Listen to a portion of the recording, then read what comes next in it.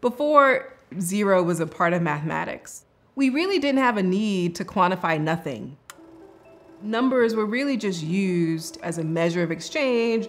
I'm gonna give you this number of cattle in exchange for your wheat.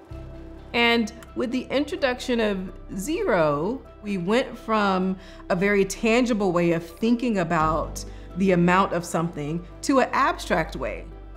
And so by giving ourselves permission to sit and ponder about nothingness and to give it structure, to give it a value, we also give ourselves permission as a society to think about hard things and complex things and sit in them and define them and change them to solutions that then benefit us all.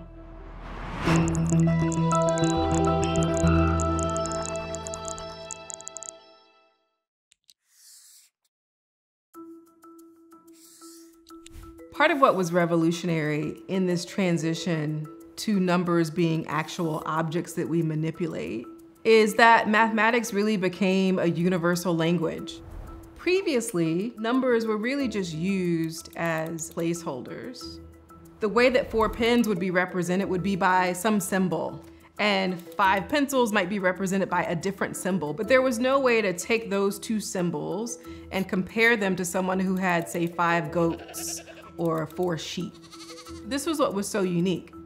Now I can take the number four and apply it to anything and it represents the same amount. When you add zero to that, that then gives you the power to think about, well, if I've got zero, can I have less than zero? Like what does less than zero mean? And so, so much was gained when we were able to harness the power of numerals and then use that to really expand and build on the field of mathematics. Thinking about zero gives us a, a framework to think about the absence of things. And it allows us a way to quantify that.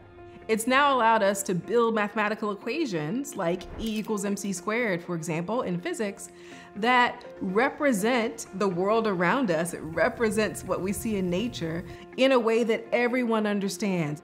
Anytime we think about concepts like dark matter or dark energy or black holes. We've never been there.